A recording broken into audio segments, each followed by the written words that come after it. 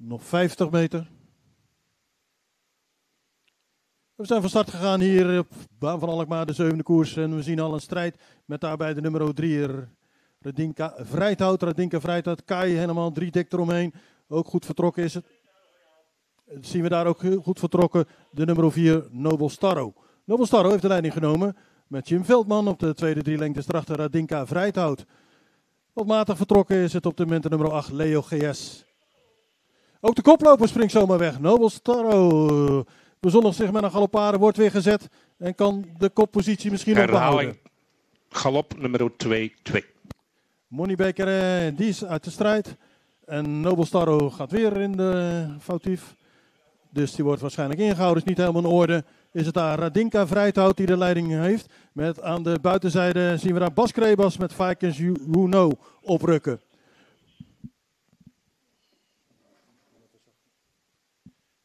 De nummer 5, Vikings Juno neemt de leiding over van de nummer 3, Radinka Vrijthout. Daar ook een galopade van de nummer 10, Jasper Lee aan de binnenzijde. Wordt gefaseerd door Kai. Nevio Boko ligt er nog net voor op de vierde plaats. De vijfde plaats zit erachter. Jas, Magic Schermer, die kan geen kant op op het moment. Uitgeschakeld nummer 10, galop nummer 10. Die kan niet wegkomen achter Jasper Lee. Ook nu aan de buitenzijde rukt op de nummer 9, Kuchi Shadow.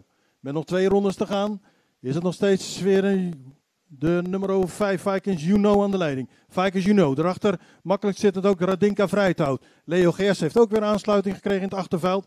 Kai zit aan de buitenzijde op de derde plaats. Aan de binnenzijde daarvan Nevio Boko. Dan zien we daarbij liggend de nummer 7 Magic Schermer. Leo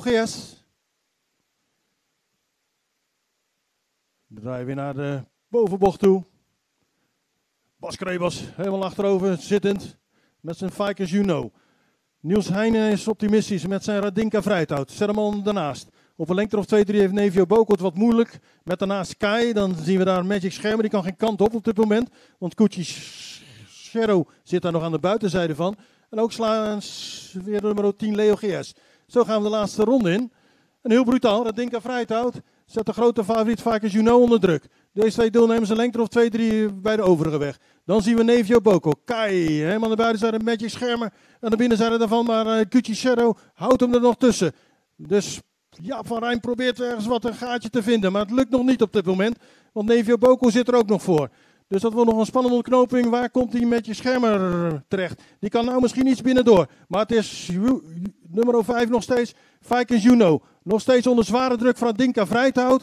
Dan zien we daar aan de binnenzijde Mekje Schermer. Die moet dat bekopen met een galopade. Dan zien we nu oprokken Kai met ook daarbij Koetje. Uitgeschakeld nummer 7, galop nummer 7. Maar het lijkt te gaan tussen Vikings Juno met aan de buitenzijde Radinka Vrijthout. Dat zal toch een sensatie wezen als Radinka Vrijthout, ondanks dat dure parcours, de koers gewoon gaat gaan winnen. Maar Bas Krebas houdt hem op de been, Vikings Juno. En die redt het ten opzichte van de nummer 3. Derde plaats snelt nog de nummer 9, Kuchi Shadow. De 5 voor de 3 en dan de 9.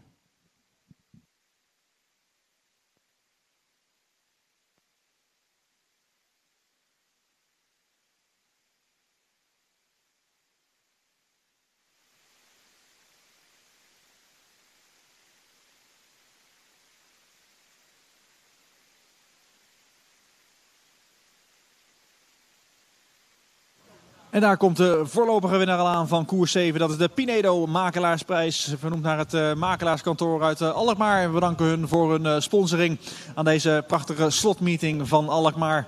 En hun koers is voorlopig gewonnen door paard nummer 5, Weekend Suno en Bas Krebas. Weekend Suno, een vierjarige zwartbruine merrie van Tobin Kronos uit Weekends Blue Lagoon.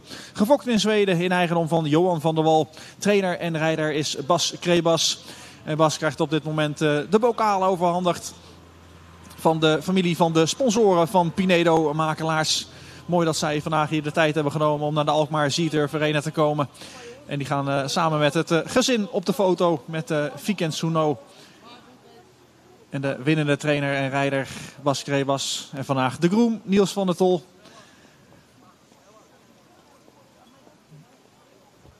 Mooi plaatje met de, de winnende connecties. Bas, eh, gefeliciteerd. Het eh, was een eh, mooie tip voor de wedders.